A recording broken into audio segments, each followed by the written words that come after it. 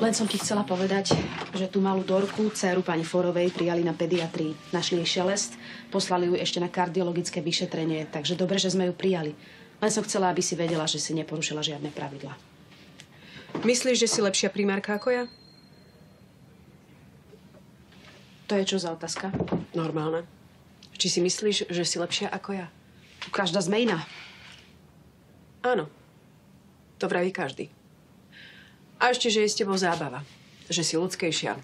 Že robíš služby na mieru. No a to všetko je pozitívne, nie? No tak dúfam, že áno. No. A ja takéto veci nerobím, pretože mi to nedáva zmysel. Takže to znamená, že moje postupy v porovnaní s tvojimi sú negatívne. Ale to sa nedá takto povedať. Tam je toľko aspektov, každá máme iné postupy, iný systém, je to komplikované. Nie, nie je to komplikované. Je. Nie. Je to jednoduchá otázka, na ktorú sa dá odpovedať áno, nie. Myslíš si, že si lepšia? Áno, nie. Tak áno. Fajn. Fajn.